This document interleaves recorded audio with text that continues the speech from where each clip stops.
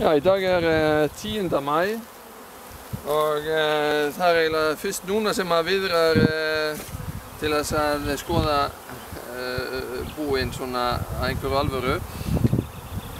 Eh, það sem að eh, ég hef gert hingað til í vor er að ég byrjaði svona í lok mars mánuði að gefa þeim hérna feedbee, hérna gerfi frjókorn og ég er búinn að bæta á þeim svona vikulega. Og e, þeir hafa tekið e, við því af mikil list. Og e, ég er, svo hef ég jú fylgst með að þeir hafa haft nóg af sykur líka. Um, en ég ég setti á setti á búinu hérna fyrir nokkrum vikum síðan eh, þennan hérna fóðurkassa hérna eh, sem að ég fóðrar með bæði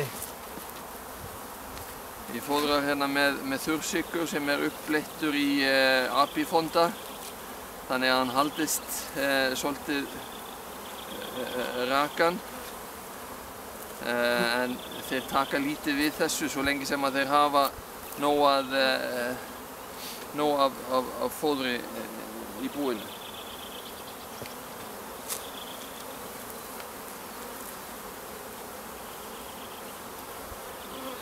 Núna er orðið mjög gott, góð tíð hérna og það er farið að gefa verulega, eða Seljan og, og Víðir eru að gefa og, og, og líka e, Fiblarnir eru rétt að byrja í þessu að, að gefa.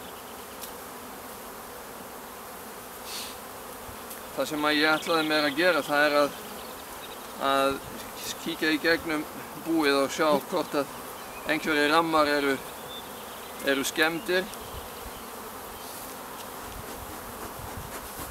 og svo ætla ég að breyta svo litið röðunina hérna á kassunum af því að ég vil fá tóman kassa efst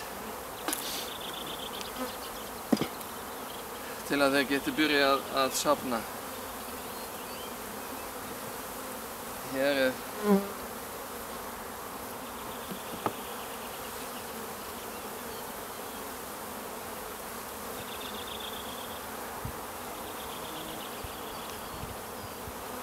er eitt fóðurrammi.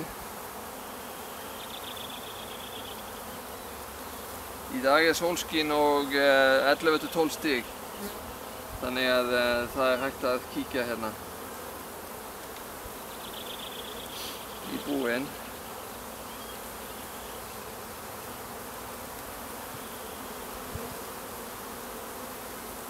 Hér er ungviðarrammi.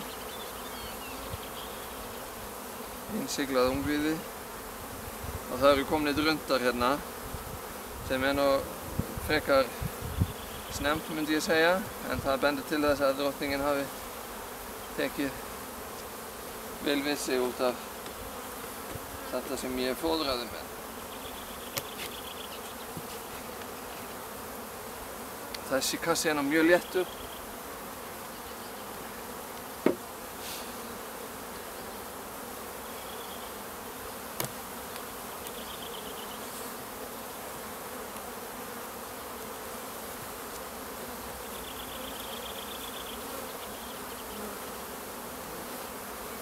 Þetta er ná svo til tómt.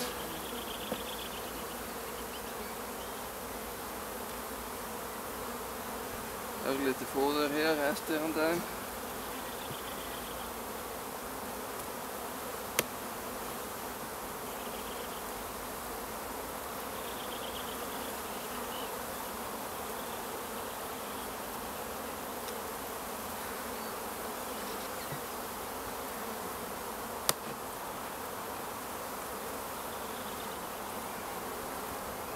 Hér er búið að verpa.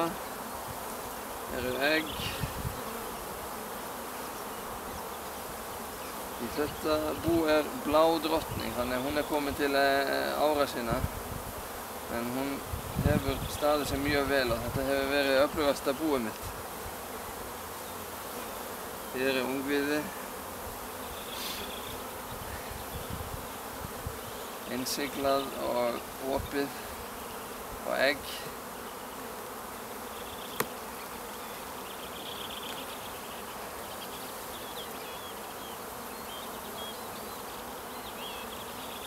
Sama hér.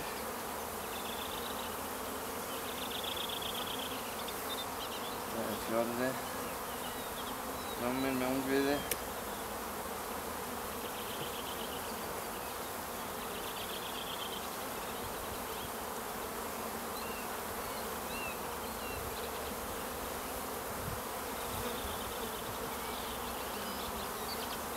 Femti.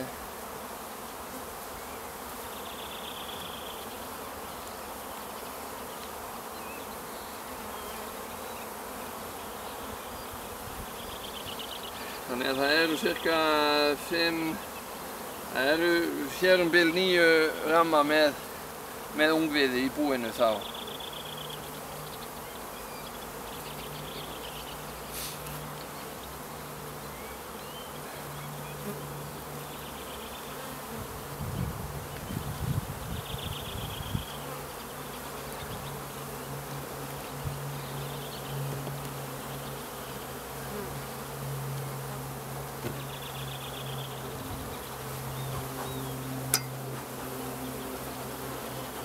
Eins og þið sjáu þá er þetta bara mjög gott og öflugt bú.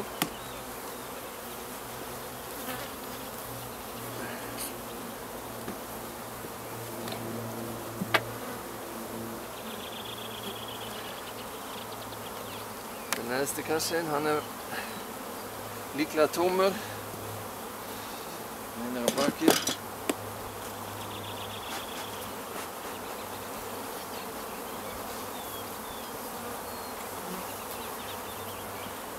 Hér eru gamlir svartir ramma sem ég, eh, er, þarf að bara fjarlæga. Svo ég tek þennan kassa.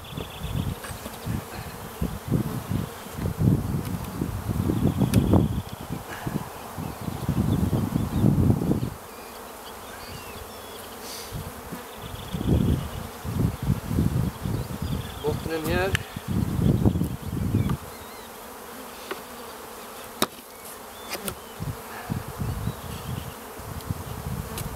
Hér er ekkert óvennilega, hér er mjög gott ástand og hreint. Þessar flugur eru mjög, eru, eru mjög eh, snirtilegar og halda, halda hreint. Ég þarf eiginlega ekkert að skipta þennan bort. Hann er, hann er bara hreitn og flottur.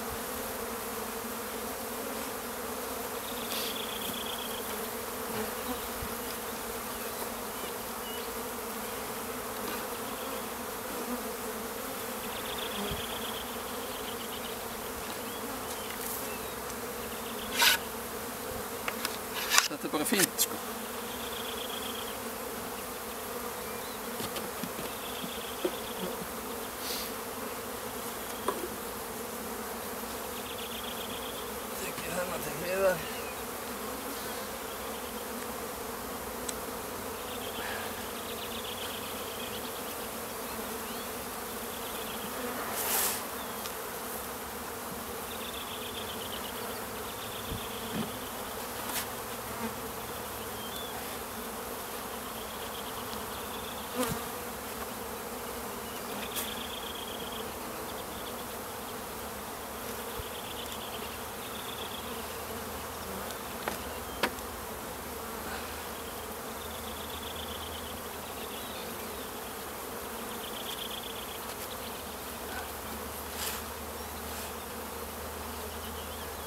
svona.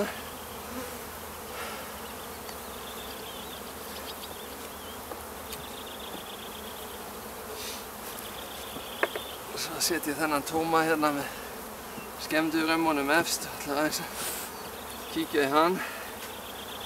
og hreinsa burt þær rammar sem að eru eins og þessi hérna vil maður ekki hafa lengur í búinu, hann þarf ég að bara fjarlæga sko.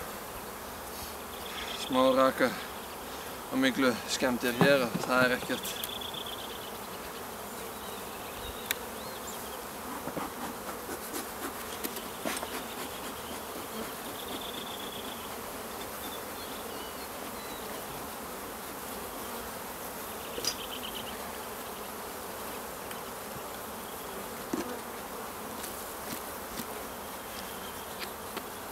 Þessi rammar eru búin að þjóna sitt og eiga ekki heima hér lengur.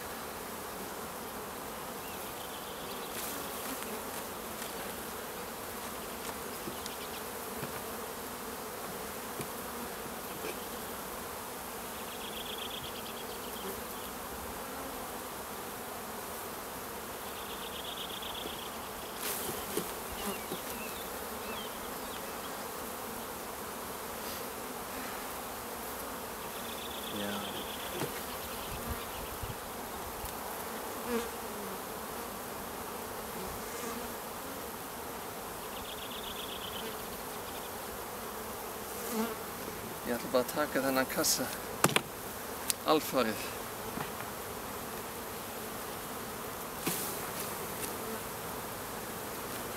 Af og setja, setja hreinan nýja ramma efst. Hér er ekkert ungviði.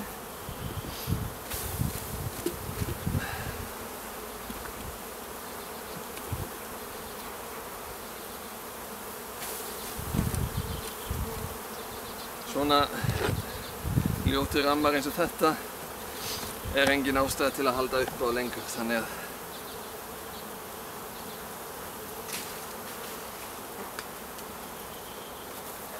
maður bara skipti þetta út. Það er maður besta hunangið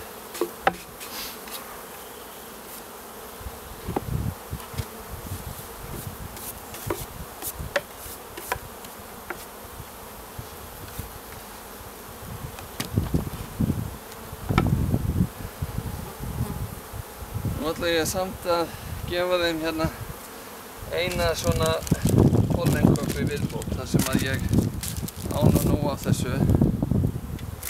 Þá verður þetta síðasta frjókotna gjöfin núna já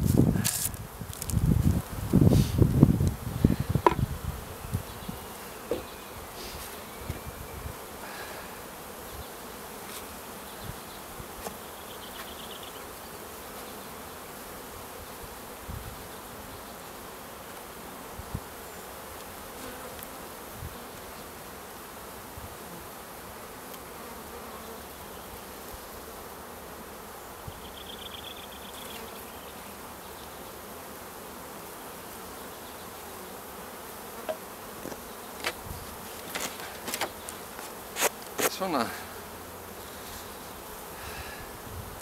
Ger ég nú þetta.